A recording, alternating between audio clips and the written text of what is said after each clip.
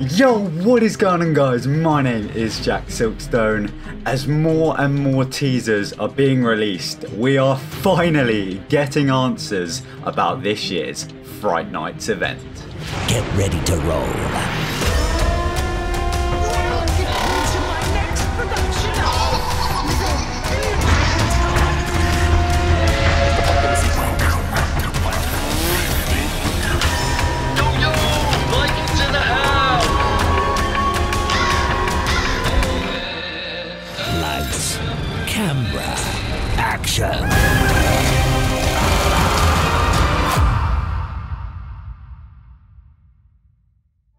That's right, we've now had three Thorpe Park Fright Nights teaser trailers released. And I know I'm a little bit late to some of them, and that's because I've been away this weekend. I was in Germany, and one of the teasers come out, and loads of people were tagging me and commenting, like, Jack, where's the video? Where's the analysis video?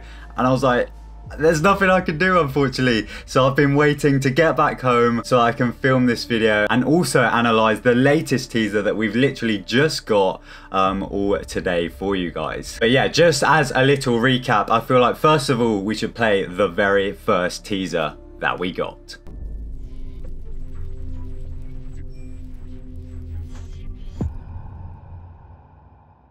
Oh yes, it's good to watch that teaser again. And obviously I made an entire speculation and analysis video based off of this small little teaser where I literally picked apart all of the walls and everything on the desk. And our biggest question from that video was of course, who is going to be sat at this desk? Whose desk is it?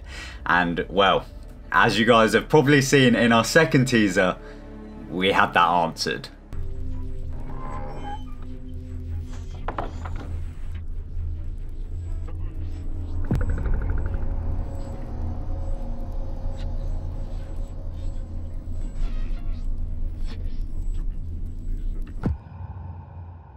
So this teaser of course started off with a few nice close-up shots of a lot of the props and posters that we were analysing in the first teaser. So we now know 100% that that is a crow's mask on the desk, there's this beautiful 20th anniversary balloon, there is an Amity High jacket kind of on the pile of clothes.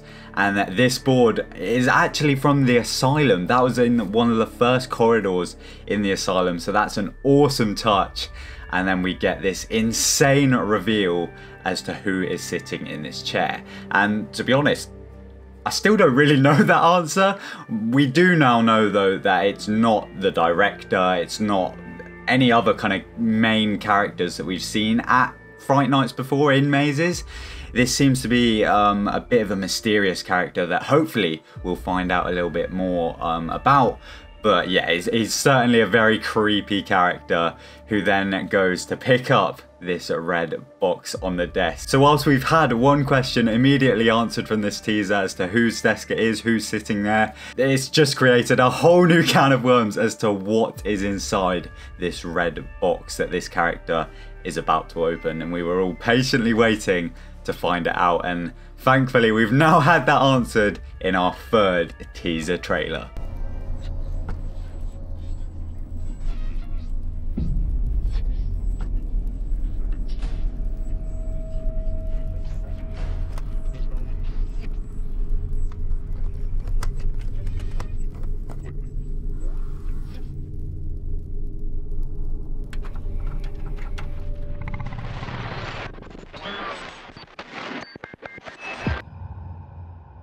So thankfully we weren't left in the dark for too long as for what was inside this red box. As in this third teaser trailer it is revealed that there is a VHS box titled 20 Years of Fear.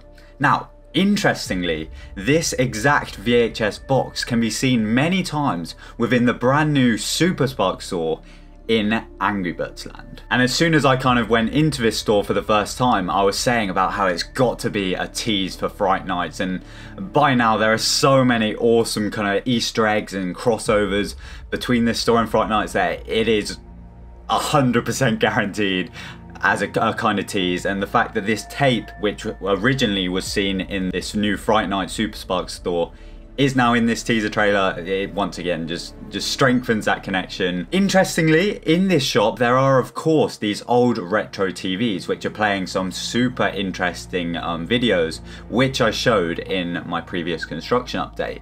Videos that uh, could be teasing a load of exciting things. And there are of course tapes in this shop, so could this tape be what we are watching on these TVs? I don't really know. I don't know kind of how kind of meta they're going with it. I was unsure as to if this tape was just a decoration or if it was the thing that was playing. But this character in the teaser obviously opens up the VHS box and for the first time we get to see the actual VHS tape itself.